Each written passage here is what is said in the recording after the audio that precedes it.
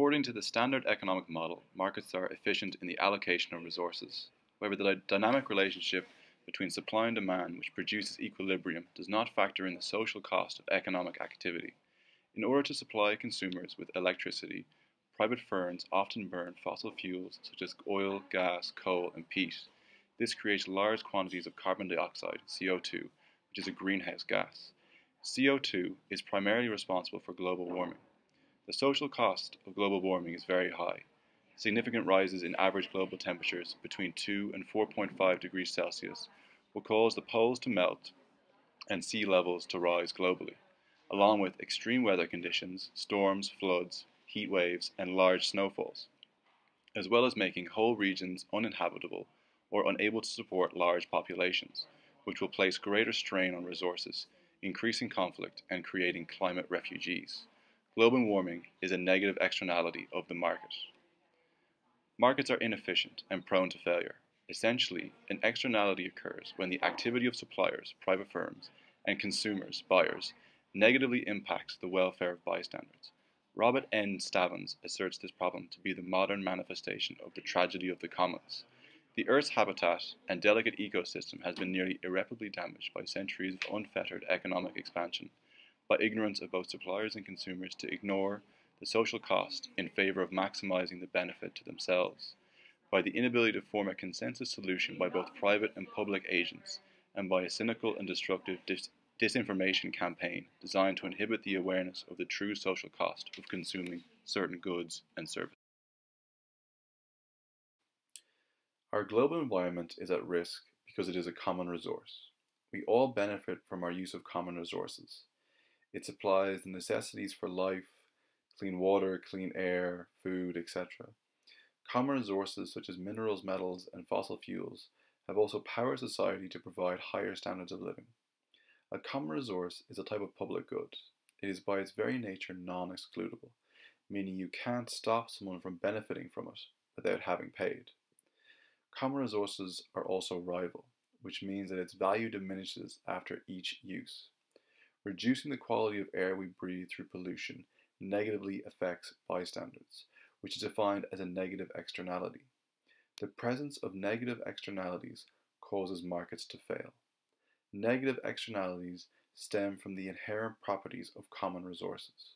Crucially, price is absent because of the phenomenon of free riders, those who benefit from a common resource but don't have to pay. Therefore, the consequence or social cost of a negative externality is ignored by suppliers. The absence of a true price prevents the efficient and equitable allocation of resources or prevents the optimal social outcome. Essentially, the free market is unreliable because it produces an inefficient equilibrium. Ultimately, suppliers and consumers are not operating rationally. Instead, they are self interested and do not consider the long term impact of their behavior. Commons is an important example that illustrates the issues surrounding our use of common resources and the economic necessity of sustainability.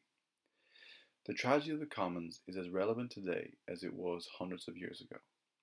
Essentially, as groups continue to utilize common resources, such as grazing land, clean air, their value diminishes Historically, the tragedy of the commons was caused by individuals overgrazing and depleting the common land surrounding most English villages. The grazing land could not sustain the number of sheep herds, and the land became barren and unable to support any sheep at all. The individuals involved were unable to come to a collective agreement that was beneficial to all. Instead, they focused on maximizing the benefit they gained from using a common resource. The contemporary manifestation of the tragedy of the commons is a global issue. Economic activity, energy production, industrial farming, and highly developed transportation networks are causing global warming through the production of carbon dioxide, or CO2. This will result in sea level rises, drought, disease, conflict, migration, and will ultimately impact all human activity on Earth. In order to prevent the ultimate depletion of our environment, effective government intervention is required. Economic markets are imperfect and regularly require the intervention of governments to achieve the social optimum or the socially efficient outcome. Ideally, governments intervene to rebalance supply and demand to achieve a more efficient equilibrium, thus minimizing the impact of negative externalities and protecting the welfare of bystanders. Bystanders are not compensated by the market, for example, ill health that they suffer due to air pollution or the cost of foreign aid to regions experiencing dramatic climate change, like the Mekong Delta in southern Vietnam. Who will pay the cost of the impact of sea level rises? The IPCC has estimated that by the year 2100, there will be a 1 meter rise in sea levels, which will displace 100 million people in Asia and 14 million people in Europe. What will the cost of solving that negative externality be in the future? How can governments intervene now to prevent these problems arising? Private solutions to pollution and global warming have so far been largely ineffective. Pollution and global warming is a hugely complicated problem that requires the input of numerous vested groups, such as national governments, private firms, and advocacy groups. Governments working through super, supranational bodies like the UN, EU, and various other trade blocs have had to work together to seek an effective response to man made climate change and pollution. Government intervention, intervention ultimately seeks to change the behavior of suppliers and consumers by manipulating market forces, supply and demand. Governments can intervene with both command and control policies or market based policies. Market based policies, believed by economists to be the most effective, seek to incentivize private firms by manipulating the price signal. This is achieved by internalizing an externality through taxation. Governments can also legislate or regulate polluters by prohibiting the dumping of hazardous waste. Governments accept that an outright ban on CO2 pollution is far too costly because our transport network would collapse, we'd have no electricity, hospitals would shut, and essentially the economy would collapse. Therefore, there is an acceptable level of pollution determined by a cost benefit analysis. Economists prefer Pigovian taxes over regulation because private firms respond better to incentives. Thus, taxing a paper mill for extra ton of effluent emitted will induce the firm to find a solution through investing in innovative technology, for example. Pigovian taxes also raise revenue for the state and further enhance economic efficiency. Another solution proffered by economists is tradable pollution permits. Private firms are permitted to pollute up to a certain amount. However, different industries, such as paper and steel, for example, have different pollution outputs from their production processes. Therefore, for argument's sake, the limit is 300 tons per annum per factory, with the paper mill emitting 200 tons. This would allow a steel mill, which produces more pollution, to purchase the paper mill surplus of 100 tons. Thus, the steel mill is allowed to emit 400 tons without being subjected to punitive Pigovian taxes. The Pigovian tax will incentivize bargaining. In 2002, the EU implemented the European Trading Scheme, ETS, which is a system of pollution permits. Effectively, ministers set up a market to trade pollution permits for carbon dioxide. EU ministers view this as a means of more efficiently keeping the environment clean. However, the ETS has been criticized for being far too lenient to polluters. Furthermore, the global recession caused a depression in industrial output due to the fall in demand. The price of permits fell too. This resulted in a lower yield in expected efficiencies because firms were no longer incentivized to invest in improving their technology. Irish plastic bag policy. In order to understand the reasoning behind the introduction of this policy, there are certain questions that need to be asked. In previous years, supermarkets and other similar establishments used paper bags, and the majority of consumers used shopping trolleys for their groceries. Why was the introduction of plastic bags required? Was it due to the externalities caused by paper bags? Or was this a way in which the government could recoup money through taxes from the consumer. has the introduction of this policy been seen as a positive externality for the country and its environment. In March 2002, Fianna Fáil Minister for the Environment, Noel Dempsey, introduced a levy of 15 cents on the cost of a disposable plastic bag. The primary objective for in introducing this policy was the encouragement of environmentally sustainable behaviour, in particular to encourage the consumer to reduce the amount of disposable plastic bags being used, to address the level of pollution caused by this product, and to combat the effects of this product was having on the environment.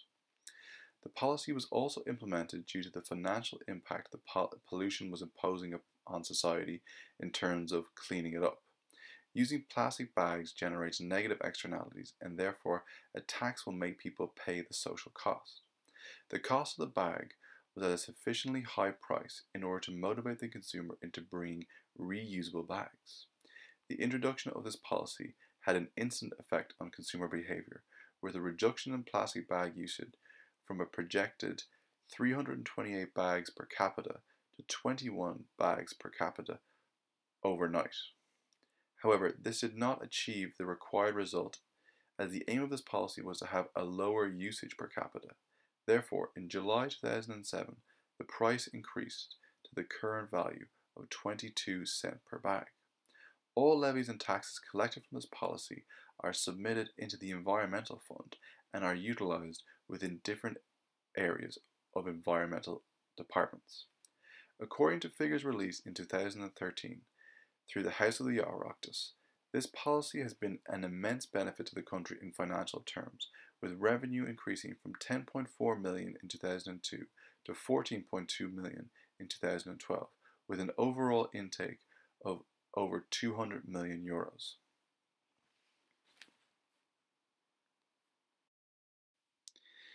An unintended consequence of the plastic bag levy was an increased demand for paper bags. The production of paper, however, is also a highly polluting process, not only in terms of CO2 production, but also in the production of hazardous and poisonous chemicals such as dioxins. Dioxins are a group of chemicals formed by the burning of household and industrial waste, and they are also formed in the making and bleaching of paper pulp. Studies have linked dioxins to cancer, interrupted hormones, generative damage such as reduced sperm counts, neurological effects in children and adults, immune system changes, and skin disorders. The repercussions of this negative externality will have huge financial costs to the health sector globally. One of the most extensive corporate scandals of our time was brought to us by the internationally known car manufacturer Volkswagen. In an attempt to appear more environmentally friendly than they really are, the corporate giant has been caught in the act of installing defeat devices to their vehicles during emissions tests. These so called defeat devices is a type of software that can be installed to the car, allowing the cars to produce false results in lab tests. However, once the software was turned off and the cars were used normally, they would pollute up to 40 times more nitrogen oxide than what is the legal limit. The scandal was uncovered in the US, where nearly half a million vehicles with the defeat device installed into them were used. In the UK, there are about 1.2 million vehicles affected, and as many as 11 million in total in Europe and the US. As per the Clean Air Act, instated by the United States Environmental Protection Agency to improve the air quality in the US and to protect the stratospheric ozone layer, Volkswagen is now facing penalties of $18 billion. This is a sum roughly $400,000 per car. This scandal can be assumed to impact the German economy as well as the economy in Europe as a whole. Volkswagen is currently the employer of 300,000 workers in Germany and a total of 600,000 workers internationally. The company has not indicated that they will be laying people off as a result of the economic damage to the company. However, this might be expected in the future. In regards to the pollution versus engine performance, there will always be a trade off. By stating laws that sets a limit for the amount of emissions allowed, the fuel efficiency will be affected, leading to the car being more expensive to produce, buy, and drive. The Paris Climate Summit, or COP21, is taking place in Paris in December 2015. This summit of world leaders is viewed as being crucial to preventing the catastrophic climate change. The purpose of the summit is to monitor the world's progress of dealing with global warming and climate change, as well as to negotiate agreements and set targets for reducing greenhouse gases.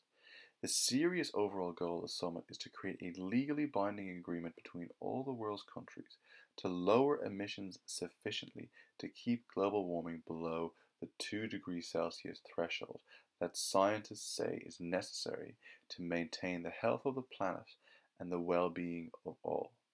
It is considered essential to head off the worst effects of climate change, such as severe flooding and droughts. Crucially, public opinion has shifted dramatically, perhaps due to the recent experience of extreme storms, flooding, etc., and the diligent work of committed scientists and activists. Public opinion has followed the science, and interest in the event is very high. There is a public demand to pay attention to this problem more than there ever has been before. Politicians likewise are also catching up. Maybe because it's expedient to do so, or maybe because they are reflecting the will of the people. However, in recent years, politicians in particular have been vocal in denying global warming, and the public are not so willing to accept this stance anymore. The private firms who are responsible for much of the CO2 pollution have engaged in a dishonest campaign to discredit the science around climate change and ultimately confuse the public. The media too is responsible for confusing the public by providing climate deniers an equal footing with climate scientists in televised debates.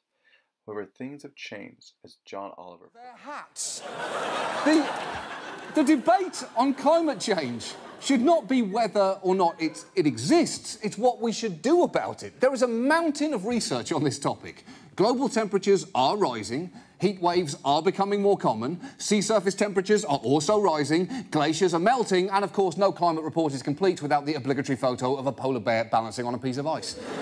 uh, the only accurate way to report that one out of four Americans are sceptical of global warming is to say a poll finds that one out of four Americans are wrong about something. because a survey of thousands of scientific papers uh, that took a position on climate change found that 97% endorsed the position that humans are causing global warming.